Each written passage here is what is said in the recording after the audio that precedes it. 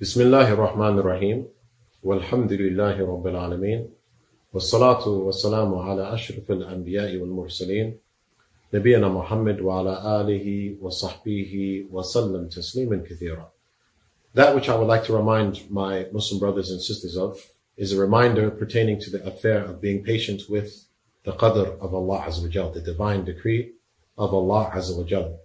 As the Prophet ﷺ mentioned, وَالْقَدْرُ خَيْرِهِ وَشَرِّهِ As the Prophet ﷺ mentioned about the faith of the believer, is that we believe in the divine decree, that which is good and that which is bad. And we know that Allah Azza wa Jal له الحكمة البالغة As Allah Azza wa Jal informs us in the Quran, Allah Azza wa Jal has the greatest of wisdom. So that which Allah Azza wa Jal decrees, which takes place in this life, it is it has the greatest of wisdom, whether we know it or whether we do not know it. So the affair of patience and being content with the decree of Allah Azza wa is a tremendous affair. And from that which I would like to mention is some of that which is mentioned by Imam Ibn Qayyim rahmatullah alayh in one of his great books called Uddat al-Sabirin, which is the provisions of the patient. And in that book, which is a tremendous book, and I advise my brothers and sisters, if it's available in English, to read the book. And if it's not, for those who can read Arabic, they should go back to the original book. It is a tremendous book that talks about the affair of patience and the virtues of patience. And Imam Ibn Qayyim rahmatullah mentions a narration from Imam Ahmed, Imam, the Imam of Ahl Sunnah, Imam Ahmed bin Hanbal, where he mentioned ذكر الله الصبر في في القرآن في تسعين موضعا Imam Ibn Qayyim rahmatullah mentions that Imam Ahmed said that Allah Azza mentioned the affair of patience in the Quran in more than 90 places. In more than 90 places to inform us of the tremendous virtues and importance of that particular affair. And then Imam Ibn Qayyim rahmatullah goes on to mention many of those places in the Quran to show and to remind the believers of the affair of patience. And from that, he says, for Allah Azza wa Jal, from that is that Allah Azza wa Jal ordered the believers. وَاصْبِرْ لِحُكْمِ رَبِّكَ فَإِنَّكَ بِأَعْيُنِنَا Allah Azza wa Jal says, be patient with the decree or the ruling of your Lord. Be patient with the ruling of your Lord. Likewise, he mentions the different places in the Quran, from the different places in the Quran, is that Allah Ta'ala says, إِنَّ اللَّهَ مَعَ الصَّابِرِينَ Indeed, Allah Azza wa is with those who are patient. And he mentioned one of the statements of the Salaf, Abu Ali, Abu Ali, that he mentioned that these individuals have obtained tremendous virtue in this life and the next because they have obtained the ma'iyya of Allah, that Allah Azza wa is with these individuals in this life and in the next life. So the, from the tremendous virtues of being patient is that when a person displays and exerts patience, the, Allah Azza wa Jal is with that individual. Allah supports that individual. Allah assists that individual and Allah rewards that individual because Allah is pleased with that individual. So that is from the places that Imam Ibn Qayyim rahmatullahi mentioned uh, from the Quran as it relates to being patient. Likewise, he mentions another statement, uh, or he mentions another verse where Allah Ta'ala says, الذين إذا أصابتهم مصيبة قالوا إن لله وإنا إليه راجعون أولئك عليهم صلوات من ربهم ورحمة وأولئك هم المحتدون Where Allah Azza wa Jal says in Surah Al-Baqarah uh, that Allah Azza wa Jal mentions three rewards for the people that exert patience. The people that say when they are afflicted with a calamity, verily from Allah we come and to Allah we return. أولئك عليهم صلوات من ربهم ورحمة. They will have the prayers of Allah Azza wa Jal. And the Salaf mentioned the prayers of Allah, meaning that Allah will mention them with good amongst the malaika. Allah will mention these individuals who display patience. Allah will mention them with good amongst the malaika. So that's the first. أولئك عليهم صلوات من ربهم ورحمة. And they will have the mercy of Allah Azza wa Jal. وأولئك هم المحتدون. And they are guided and they are guided. Then Imam Ibn Qayyim rahmatullah mentions that some of the Salaf, and one of the Imams of the Salaf, he had a calamity. He had a calamity that took place in his life and someone came to give his condolences. And that individual said to him, ما لي لا أصبر وقد وعدني الله بثلاث خصال وكل خصلة منها خير من الدنيا وما فيها. He said, why should I not be patient? Why should I not be patient? When Allah Azza wa has promised me three rewards, each reward is better than the world and everything in the world. Each reward is better than this world and everything in this world. One, that Allah mentions you to the malaika. Two, that you, Allah will have mercy upon you. And three, that Allah will guide you. That Allah Azza wa Jal would guide you. So this is also from the places that Imam Ibn Qayyim rahmatullah mentions in his book of the reward for being patient. And he mentions many other verses in the Quran as it relates to the affair of, of being patient. And also from that which can be mentioned is the statement of the Prophet sallallahu alaihi wasallam in the hadith of Abu Hurairah radiallahu anhu and others. In Sahih Bukhari and others, where the Prophet wasallam said, "Ma yusibul mu'min, ma yusibul muslim, min nasabin wala wasabin. But the Prophet ﷺ mentioned that the believer will not be afflicted with illness or harm, wala adhan, nor any harm, wala ghammin, nor any sadness, illa kaffar Allahu biha anhu khatayahu. Or kama qala where the Prophet ﷺ mentioned that a person is not afflicted with an illness or a disease or harm or sadness, except that it will be a means that Allah Azza expiates his sins. It will be a means of expiation for the individual's sin. So and it's upon the believer to reflect. Yani, I'm in a situation which is out of my hands. It's out of my hands. A lockdown or a curfew or not being able to share and participate with the Muslims for the Eid. But if an individual is patient, because it's out of their hands. There's nothing they can do to change their affair. If the individual is patient, then they are getting rewarded. Allah Azza wa Jal is expiating that individual's sins. And you have another hadith on the authority of Aisha radiallahu anha, where the Prophet sallallahu mentioned that but the believer is not afflicted with a calamity, illa rafa Allahu biha anhu khatayahu. She said, "Oh, illa rafa Allahu biha daraja wa hatta anhu khatayahu." That the Prophet ﷺ said that a believer is not afflicted with a calamity except that Allah Azza would raise him in levels and Allah would erase his sins. Except that Allah Azza would raise that individual in levels and Allah would expiate and remove his sins. So these are the type of things that the believers need to be reminded of as it relates to the affair of qada wal qadr, the divine decree of Allah Azza especially for those matters that you could not have, there's nothing you could do to change that affair. So either you sit angry and upset and displeased with the affair when you actually have the ability and you don't have anything, you don't have the ability to change it. But if you are patient with the decree of Allah Azza wa Jal and, and, and, and, and content with the decree of Allah Azza wa Jal, while you're in that matter that you cannot change, you are getting rewarded. Your sins are being removed. Your levels are being elevated. So why would the believer, why would the believer not?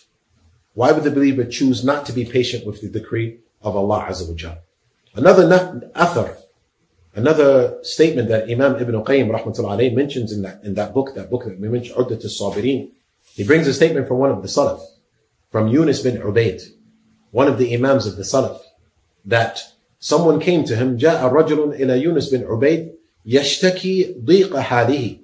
A man came to Yunus bin Ubaid and he was complaining about his financial difficulties, his constraints.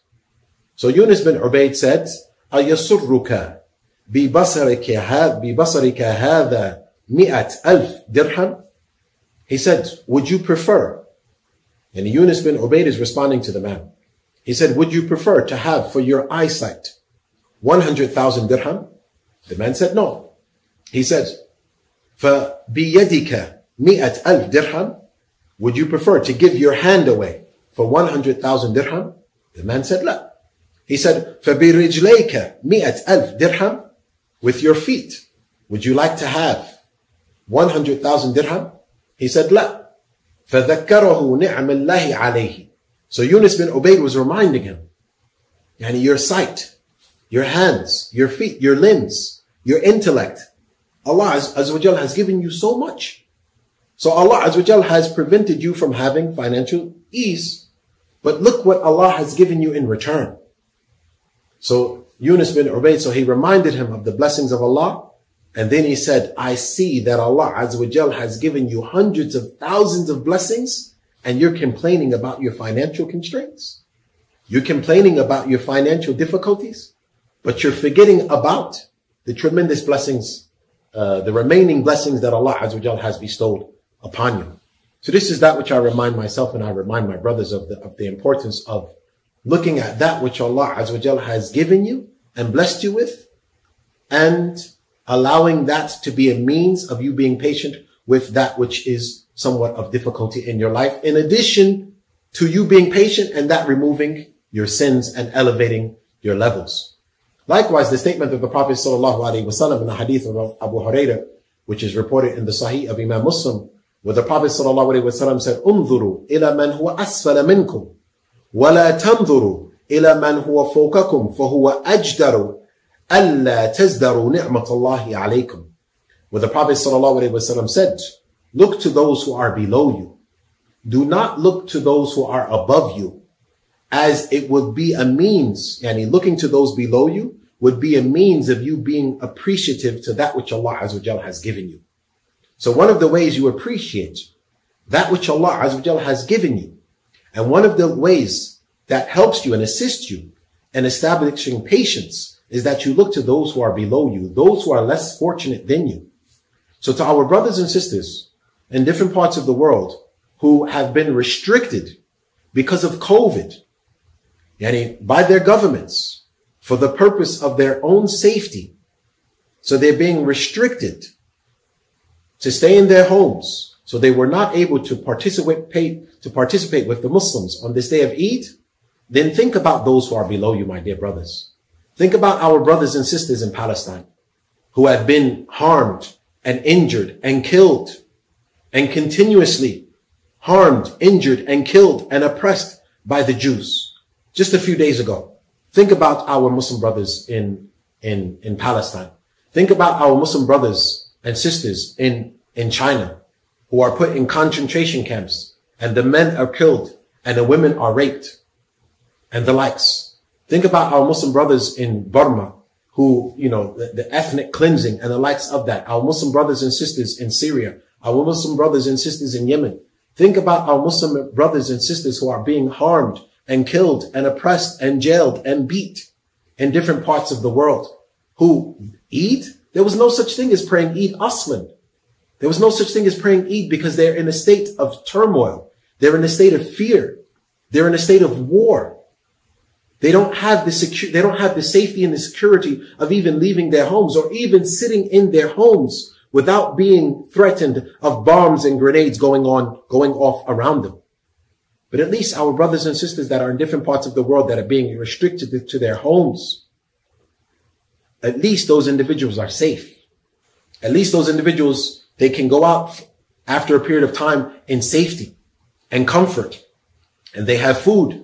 The hadith of the Prophet sallallahu alaihi wasallam, where the Prophet wasallam mentioned, "Man asbaha minkum aminan fi sarbihi, mu'athan fi jasadihi, عنده قوت بلد عنده قوت يومه فكأنما حيزت له الدنيا بحذافير بحذافيرها Sunnah, Jami Tirmidhi, where the Prophet ﷺ mentioned the individual who wakes up, the individual from amongst you, from amongst the Muslim, who wakes up and he's safe in his life. His life is safe.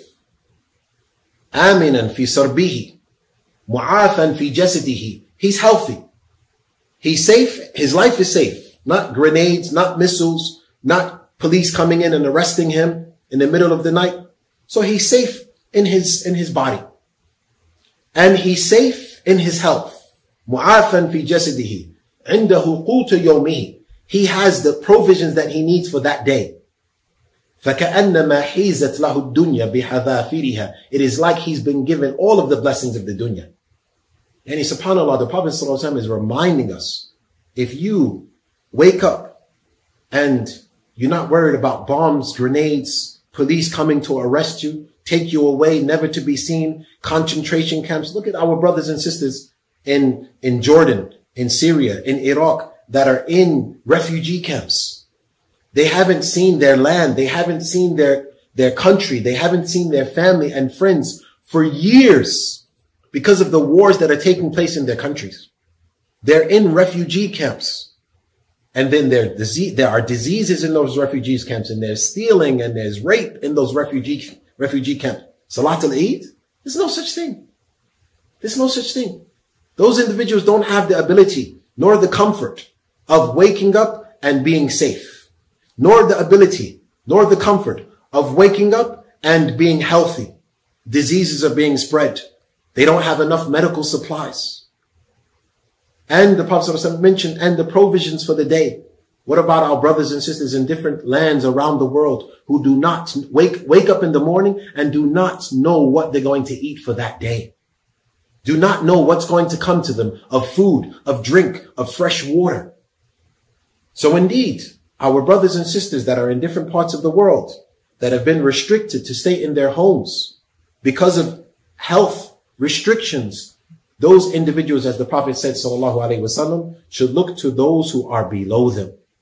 They should look to those who are below them. And they should remember the hadith of the Prophet sallallahu alaihi wasallam, the hadith of Suhaib bin Sinan, which is also reported in the Sahih of Imam Muslim, where the Prophet sallallahu alaihi wasallam said, عجباً لأمر المؤمن إن inna له كله خير وليس ذلك إلا للمؤمن. إن أصابه سراء شكر فكان خيرا له وإن أصابه الضراء صبر فكان خيرا له The hadith of the Prophet ﷺ, where he said, the affair of the believer is tremendous and amazing. And that is only for the believer. And that is only for the believer. When things of joy come to him, he's grateful. And that is good. To show his gratitude to Allah Azza wa Jal, as Allah Azza wa Jal says in the Quran, وَلَئِن شَكَرْتُمْ وَلَئِن شَكَرْتُمْ لَأَزِيدَنَّكُمْ If you are grateful, I will increase you. So Allah blesses you, gives you joy, comfort, happiness. If you show gratitude, then Allah Azza wa Jal will give you more. وَلَئِنْ أَصَابَهُ وَإِنْ أَصَابَهُ ضَرَّا صَبَرَ فَكَانَ خَيْرًا لَهُ And when calamity or difficulty comes to him, he's patient. And that is also good for him. Why? Because he's still getting rewarded. You can't change it anyway. So be patient and get a reward. Two individuals. One is upset, angry, displeased. Not only he doesn't get a reward, but he gets a punishment, being displeased with the pleasure of Allah. But the other individual, neither of them can change it. The other individual is patient and grateful and knows that there is ease after calamity. There is ease after difficulty and he's getting a reward in that affair. So this is a brief reminder for myself and my brothers and sisters and the communities that have been afflicted. We ask Allah Azza to accept it from us. We ask Allah Azza to forgive us for our sins and our shortcomings and to increase us in iman and to guide us to that which is better and pleasing to him. Allah knows best. وصلى الله وسلم وبارك على نبينا محمد وعلى آله وصحبه وسلم تسليما كثيرا